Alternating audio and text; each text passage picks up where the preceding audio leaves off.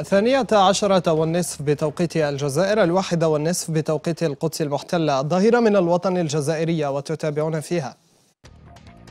حركة القوى الشعبية تحدو حذو أحزاب الموالاة وتضيق الخناق على الأففاس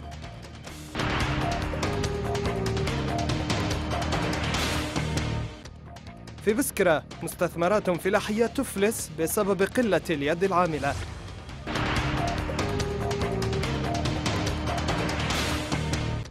بعد إعدام 21 قبطيا نظام الانقلاب يرد بضربات جوية على ما يقول إنها مواقع لتنظيم داعش ونساء وأطفال يقعون ضحايا. السلام عليكم. قبيل الزيارة المرتقبة لرئيس الوزراء القطري عبد الله بن ناصر بن خليفة الثاني إلى الجزائر الشهر القادم قال مساعد وزير الخارجية القطري لشؤون التعاون الدولي محمد بن عبد الرحمن بن جاسم الثاني أن زيارته للجزائر ستتمحور حول بحث مشاريع استثمارية قطرية جديدة ومتابعة المشاريع المشتركة التي تم إطلاقها. وأضاف المسؤول القطري خلال استقباله من طرف وزير الصناعة والمناجم عبد السلام بوشوارب بمطار هواري بومدين أن زيارته للجزائر تأتي أيضا لتحضير لزيارة رئيس مجلس الوزراء القطري إلى الجزائر. لا تزال حركة القوى الاشتراكية تسعى في الآونة الأخيرة لإقناع الأحزاب الأخرى بمبادرة الإجماع الوطني حيث حطت الرحال هذه المرة على الحركة الشعبية الجزائرية التي أعلنت مبدئيا مشاركتها في هذه الندوة شرط عدم مشاركة أحزاب الفيس المنحل. إيمان عبروس. أكد الأمين العام للحركة الشعبية عمار بن يونس أن حزبه لن يشارك في ندوة إعادة بناء الإجماع الوطني التي تنوي جبهة القوى الاشتراكية تنظيمها أواخر شهر الجاري في حال ضمت قائمة المدعوين الممثلين عن جبهة الإنقاذ المنحلة الممنوعين من النشاط حزبه بموجب ميثاق السلم والمصالحة الوطنية. إحنا ما نقبلوش باللي آه، المسؤولين السياسيين اللي قصاهم ميثاق السلم والمصالحة الوطنية. حنا عندنا موقف مبدئي ما نقدروش نشاركوا في آه، ندوة وطنية وين يكونوا آه، هاد الناس آه، المسؤولين. تاع الحزب المنحل يشاركوا في هذه الندوة. بن يونس اشترط أيضا على مبادرة الأففاس ما تسميها أحزاب الموالاة شرعية المؤسسات مرجيا قرار المشاركة من عدمها إلى الأسبوع القادم. قائلا إن الأففاس رد على تساؤلاتنا والمجلس الوطني سيبحث قرار المشاركة. إحنا أكدنا مرة أخرى على بعض المواقف المبدئية للحركة الشعبية الجزائرية. آه، يعني كان نقاش آه، صريح. نقاش أخوي مع وتع الافاس كان هناك نقط وين تفاهم تام وكان بعض النقاط اللي مازال نزيدوا نتحاوروا عليهم فيما يخص بلورة هذا الاجتماع المنتظر. وقال بن يونس إن موقف الحركة ثابت تجاه مبادرة الإجماع مؤكدا أن البلاد لا تتخبط في أزمة سياسية ولا اقتصادية وأن رئيسها شرعي ومؤسستها منتخبة بطريقة شرعية هي الأخرى. إحنا بالنسبة لنا في الحركة الشعبية الجزائرية قلنا عدة مرات. إحنا نقولوا ما رناش في أزمة سياسية ما رناش في أزمة اقتصادية والتحليل تاعنا يقول باللي قلنا لهم دائما إحنا لازم آه، احترام شرعية المؤسسات آه، الجزائرية. مساعي الأففاس في الآونية الأخيرة تترجمها زيارة محمد نبو إلى عديد الأحزاب السياسية الجزائرية من أجل إقناعها حول مبادرة الإجماع الوطني التي دعت إليها في وقت سابق. أكد رئيس حركة مجتمع السلم عبد الرزاق مقري أن التنسيقية على أتم الاستعداد للقيام بوقفة احتجاجية يوم الرابع والعشرين فيفري ضد الغاز الصخري في حين قال جلال سفيان رئيس حزب جيل جديد أن المعارضة التمست تراجع التخوف لدى الجزائريين من الشارع بسبب التراكمات السلبية حسبه لممارسة السلطة والتي ترفع شماعة أحداث ليبيا وسوريا لإخافتهم من التعبير عن آرائهم. بعد أن رفضت السلطات المحلية لولاية الجزائر الترخيص لشخصيات محسوبة على تنسيقية الانتقال الديمقراطي منح ندوة سياسية بفندق السفير. أصبحت الأخيرة أكثر حاجة في البحث عن رهانات أخرى أهمها الشارع. حسام تكالي. كل يوم يظهر جليا حجم الهوة بين السلطة السياسية في البلاد وبين المعارضة. هوة تتسع في كل مرة يصعد فيها أحد الفريقين أو كلاهما. ومع تضاؤل فرص الوفاق بدا واضحا بأن العلاقة متجهة نحو أفق مسدود نتيجة الخلاف على ما تعتبرها السلطة ثوابتا لا تتغير وما تطالب المعارضة بإلغائه لضمان انتقال ديمقراطي سلس في الجزائر.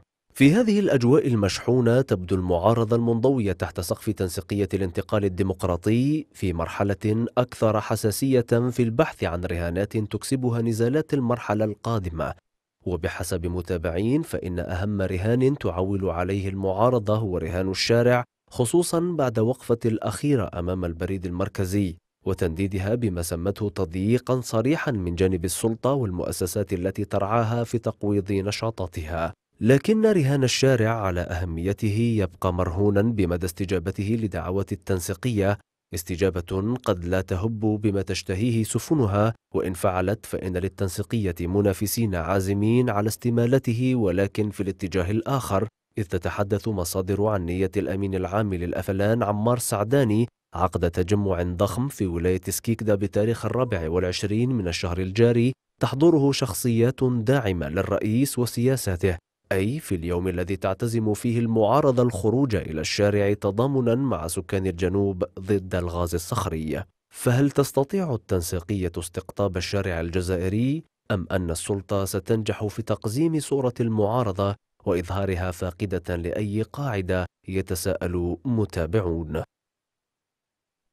انتقد منسق قطب قوى التغيير علي بن فليس في بيان له انتهاكات السلطة للحقوق المشروعة حسبه للمعارضة من خلال منعها من تنظيم ندوة موضوعاتية حول الانتخابات موضحا أن المنع يتنافى مع الدستور وقوانين الجمهورية التي تضمن حقوق وحريات المواطن ويتعارض أيضا مع الإعلان العالمي لحقوق الإنسان والميثاق الأممي للحقوق المدنية والسياسية كما ندد بن فليس في ذات البيان بإدانة تسعة نشطاء للدفاع عن حقوق البطالين بالحبس النافذ بولاية الأغواط.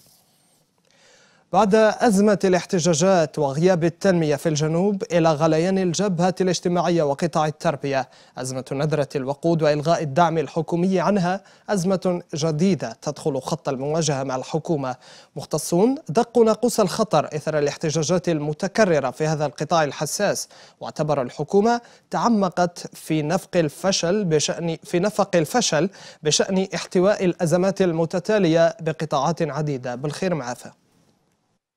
شركة نفطال طلت على المواطنين ببيان أصدرته بالتزامن مع احتجاجات عرفتها عديد الولايات تطالب بإيجاد حلول لندرة الوقود.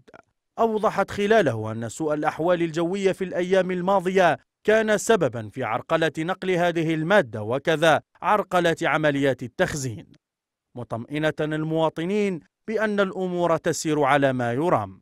نفطال ووفق هذا البيان أكدت تطمينات وزير الطاقة يوسف يوسفي قبل مدة بشأن أن الحكومة لا تعتزم زيادة أسعار الوقود مشيرا إلى أن جهود الدولة لن تعرف أي تراجع بخصوص تحسين المستوى المعيشي للمواطن نافيا ارتباط الأمر بانخفاض أسعار البترول.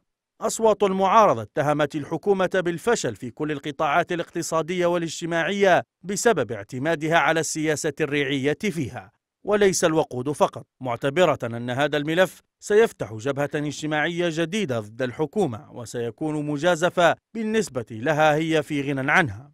إذا أزمة الوقود قبضة جديدة تضيق الخناق على العلاقة بين المواطن والسلطة. تنتظر حلولا واقعية بعيدة عن سياسة الترقيع المعتمدة ككل مرة عندما تطفو أزمة جديدة على السطح.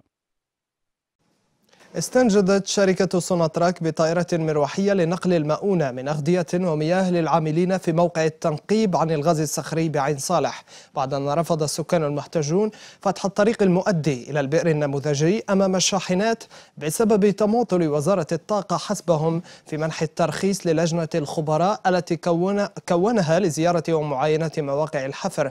هذا وكان المحتجون قد أغلقوا الطريق المؤدي إلى مواقع الحفر ومنعوا شاحنات نقل معدات معدات معدات تستعمل في التكسير الهيدروليكي. بمقر جريدة ديكا نيوز نشط رئيس قسم طب الأطفال بمستشفى بارني محمد حملاوي أمس. ندوة صحفية تطرق فيها إلى موضوع الأمراض الناذرة التي تصيب الأطفال وكيفية التعايش معها في ظل عدم توفر الإمكانات الطبية اللازمة. هذا وأكد الطبيب المختص أن أغلب الأمراض النادرة هي وراثية بنسبة 80% جليلة بالحاج. الأمراض النادرة أسبابها عوارضها وكيفية الوقاية منها. أهم المحاور التي تطرق إليها رئيس وحدة طب الأطفال بمستشفى بارني محمد حملاوي خلال الندوة الصحفية التي نشطها بمنتدى جريدة ديكا نيوز.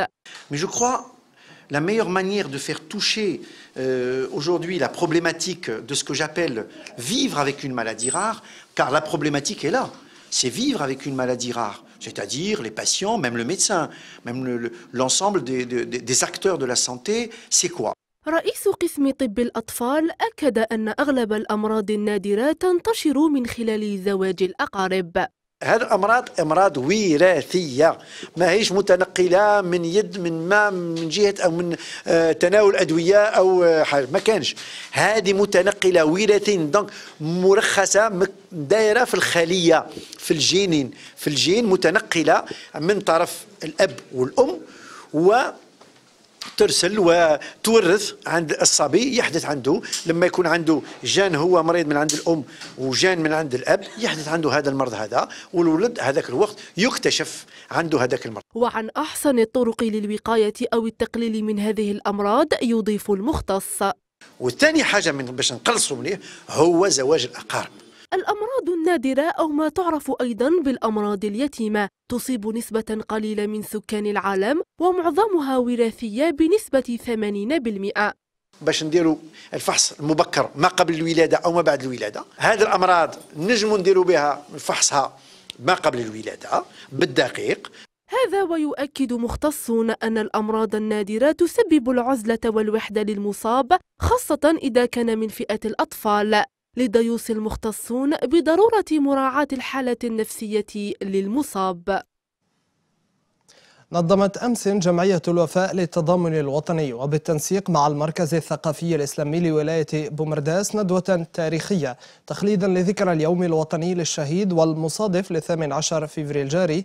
وهذا تحت شعار رسالة الشهيد ذكرى وتواصل للأجيال. المناسبة كانت فرصة للتذكير بمكانة الشهيد والتضحيات الجثام المقدمة في سبيل أن تحيا الجزائر مسلمة مستقلة. التقرير لرفيق حداد. بشهادة القاسي والداني وفي سبيل الحرية قدمت الجزائر مليون ونصف المليون شهيد. جمعية الوفاء للتضامن الوطني وبالتنسيق مع المركز الإسلامي لولاية بومرداس نظمت ندوة تاريخية استذكرت أمجاد الأجداد وتاريخ الأبطال. وبمناسبة اليوم الوطني للشهيد سطر المركز الثقافي الإسلامي لولاية بومرداس نشاطا ثقافيا ثريا يمتد من يوم الأحد إلى غاية يوم الخميس كاملا. كان بالتنسيق مع جمعية الوفاء والتضامن الوطني. كان فالشهيد وكل الشهداء هم الذين قتلوا النية وقتلوا الأنانية وقصدوا وجه الله وقصدوا الجنة جنات النعيم. يوم لا ينفع مال ولا بنون إلا من أتى الله بقلب سليم. رغم المكانة العالية للشهيد في الذاكرة الجماعية للجزائريين فإن مثل هذه التظاهرات فرصة لزرع هذه المكانة في قلوب الأجيال الصاعدة. زرع زرع رسالة الشهيد والوطنية تاع الشهيد لأنه الشباب تاع دروكا لا بليبار دروك راح يتقطعت الأسرة الثورية فيما يخص رسالة الشهيد. تقريبا إحنا الأسرة الثوريه تقريبا ولادنا عادوا ما ما يعرفش هذا هذا هذا رسالة الشهيد وشنا أمام هذه التضحيات الكبيرة التي قدمت في سبيل الحرية والاستقلال فهل ستحافظ الأجيال القادمة رسالة الماضي لتبني صرح المستقبل؟ شهدت بعض المستثمرات الفلاحية ببلدية سيدي عقبة بولاية بسكرة إفلاس أصحابها بعد تراجع إنتاجها الفلاحي والذي يرجعه أصحاب هذه المستثمرات إلى قلة اليد العاملة وعزوف الشباب عن مثل هذه الأعمال. وهو ما يجعل أسعار الخضر تعرف ارتفاعا حادا هذه الأيام. بالخير معافى. انعدام اليد العاملة وعزوف الشباب على ممارسة الفلاحة هي الأسباب الرئيسية التي يرجعها أصحاب المستثمرات الفلاحية ببلدية سيدي عقبة بولاية بسكرة لتراجع الإنتاج الفلاحي بالمنطقة. رغم أن الدولة اعتمدت عديد البرامج التدعيمية لهذا القطاع الذي يبقى رغم هذه المجهودات لا يلبي حاجة المواطن ولا الدولة في حاجاتها من المنتوج الغذائي. أنا نعرف واحد صاحبي هنا عنده البصلة ما من يقلع حاله هاي قاعدة في الأرض.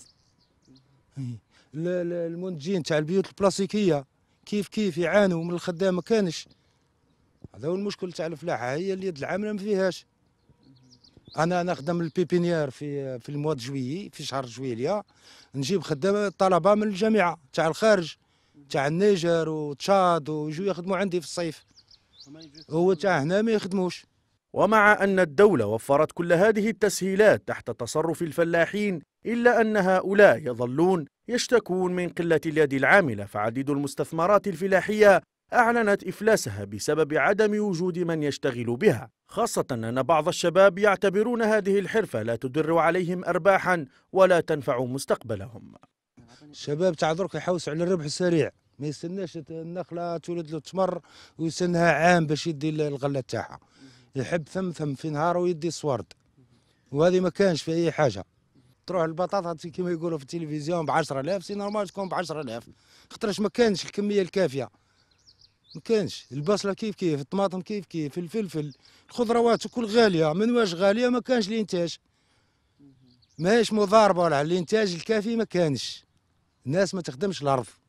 وفي ظل عزوف الشباب عن العمل في الميدان الفلاحي تبقى هذه المستثمرات الفلاحية التي يمكن أن تغني الجزائر عن استيراد الكثير من الخضر والمنتوجات الفلاحية. تبقى تندب حظ أصحابها وتنتظر من يعيد لها الحياة من جديد. أظهر تسجيل مصور بثته مواقع تابعة لتنظيم الدولة الإرهابي عملية إعدام 21 عاملا مصريا قبطيا ذبحا بعد اختطافهم شهر ديسمبر الماضي في ليبيا. وتقول جماعة تسمي نفسها جند الخلافة في ولاية طرابلس الليبية أن العملية تأتي ثأرا مما سمته اضطهاد الأقباط للمسلمات المصريات. حسام تكالي. السيسي سيدخل مستنقعا مجهولا من بابه الواسع مع قيام الطيران المصري بعمليات ضد أهداف في درنا معقل تنظيم داعش في ليبيا البلد الذي بات اليوم واحدا من أكثر المناطق سخونة. تنظيم داعش الذي بث شريط فيديو مصور عن إعدام 21 قبطيا مصريا وإن غض الطرف عن التقنيات العالية وإمكانات الإنتاج الضخمة التي عود التنظيم عيون المشاهدين عليها فإن توقيته المرتبط بصفقة بيع طائرات فرنسية إلى الجانب المصري ذات دلالة واضحة بحسب متابعين على نية مبيتة لدى الغرب في إدخال مصر إلى المستنقع الليبي للتدخل عسكريا في هذا البلد الذي تعصف به رياح الانقسام بين أبنائه.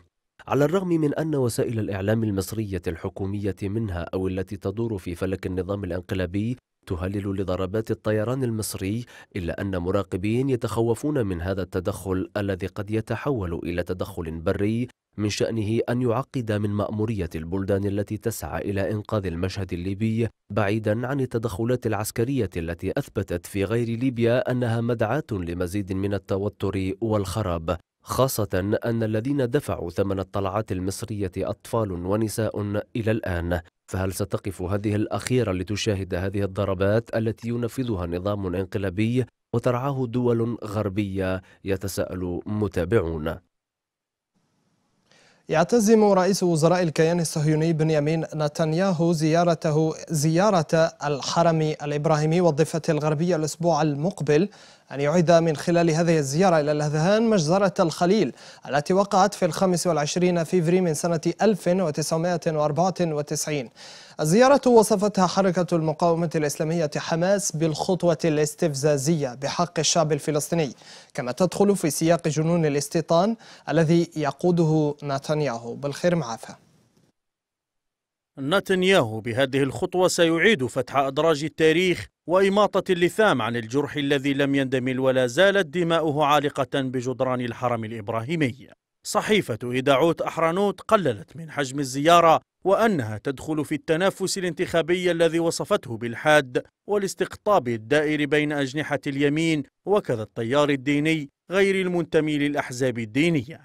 حماس وبعد اعتزام نتنياهو زيارة الحرم الإبراهيمي حذرت عبر قياديها وعضو المجلس التشريعي أحمد عطون من هذه المحاولة التي ستكون عواقبها وخيمة على الطرفين. معتبرا أن هذه الخطوة تأتي في سياق جنون الاستيطان الذي يقوده نتنياهو مطالبا السلطة الفلسطينية للتحرك الفوري للجم المساسي بالمسجد الإبراهيمي من خلال خطوة تتناسب وحجم الجريمة. والغباء الصهيوني وإلا فإن مواطني الخليل لن يسكتوا على تدنيس المسجد الإبراهيمي مرة أخرى.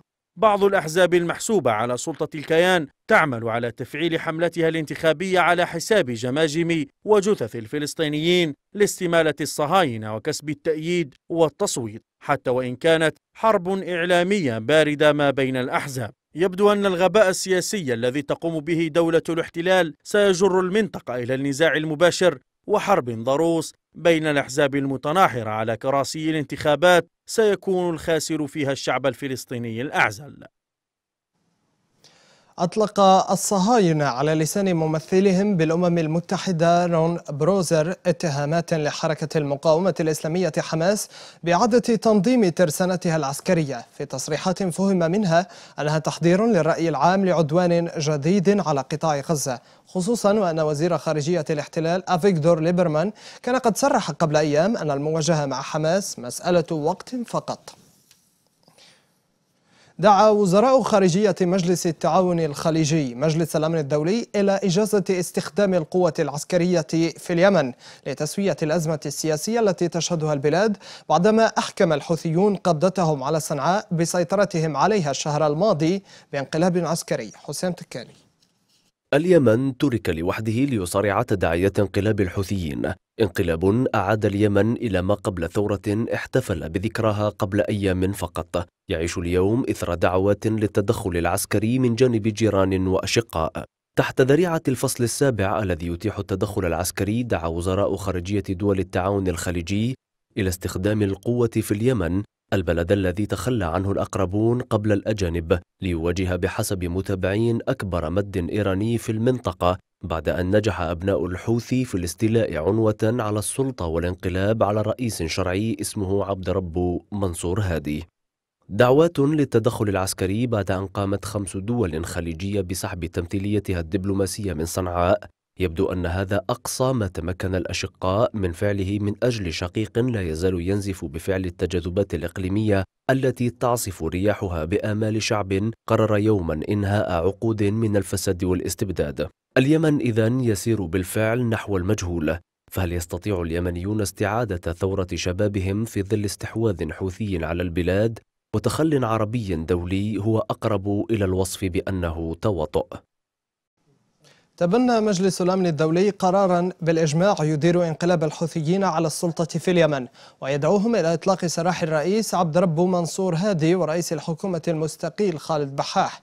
كما يدعو القرار جماعة الحوثي إلى رفع يدها عن مؤسسات الدولة التي استولت عليها بانقلاب مسلح ومنددا بالقرارات الأحادية التي اتخذوها في الآونات الأخيرة. وأمهل مجلس الأمن الحوثيين مدة 15 يوما للعودة إلى الحوار قبل الشروع في تنفيذ تنفيذ العقوبات التي لم تشر إلى الفصل السابع من ميثاق الأمم المتحدة.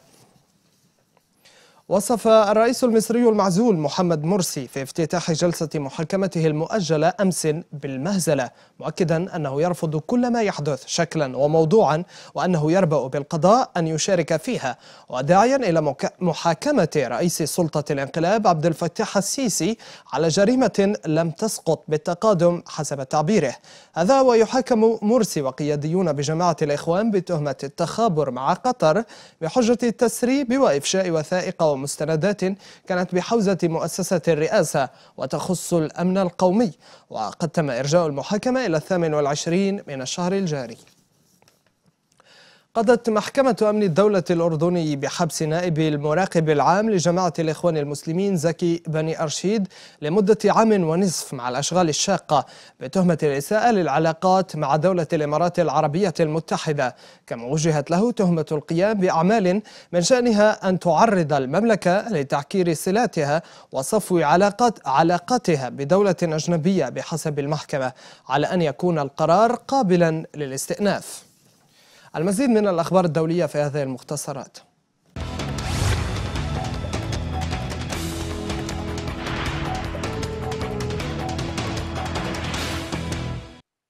فجرت انتحارية نفسها في محطة حافلات مزدحمة شمال شرقي نيجيريا ما أسفر عن مقتل 16 شخصا وإصابة أكثر من 30 بجروح. وبحسب شهود عيان فإن معظم الضحايا كانوا من الأطفال الباعة على الطريق. وتمكنت الفتاة بحسبهم من تجاوز تفتيش أمني عند مدخل محطة حافلات وفجرت نفسها في الساعة الواحدة بعد الظهر. تواصلت الاشتباكات بين قوات الأمن التركية ومحتجين أكراد لليوم الثالث على التوالي في بلدة جزيرة ابن عمر للمطالبة بالإفراج عن زعيم حزب العمل الكردستاني المحظور عبد الله أوجلان في ذكرى مرور 16 عاما على اعتقاله. الاشتباكات تزامنت مع احتشاد آلاف الأكراد للمطالبة بإطلاق سراح أوجلان الذي يراه القوميون الأتراك مسؤولا عن مقتل العشرات. حذر رئيس الوزراء الأسترالي توني أبوت أندونيسيا من تبعات دبلوماسية محتملة إذا مضت جاكرتا قدما في إعدام أستراليين ودينا بتهمة تتعلق بالمخدرات. وتطبق أندونيسيا عقوبات الإعدام منذ 2013 بعد توقف استمر خمس سنوات. وتبذل أستراليا جهودا في اللحظات الأخيرة لإنقاذ حياة مواطنيها اللذين أدينا في 2005 بمحاولة تهريب هيروين إلى خارج أندونيسيا. تمكنت البحرية الإيطالية من إنقاذ ما مجموعه قد يصل إلى 2164 مهاجرا غير شرعي أبحروا من ليبيا بسبب الفوضى المنتشرة هناك. على متن 12 قاربا وقالت مصادر إيطالية أن وحدات تابعة للبحرية قامت بإنقاذ المهاجرين بينما كانوا في المياه الفاصلة بين السواحل الليبية وجزيرة لامبيدوزا الإيطالية.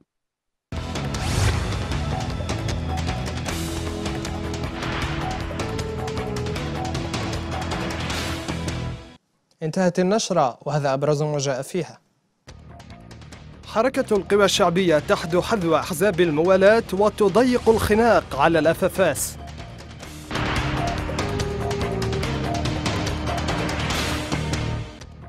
في بسكرة مستثمرات فلاحية تفلس بسبب قلة اليد العاملة.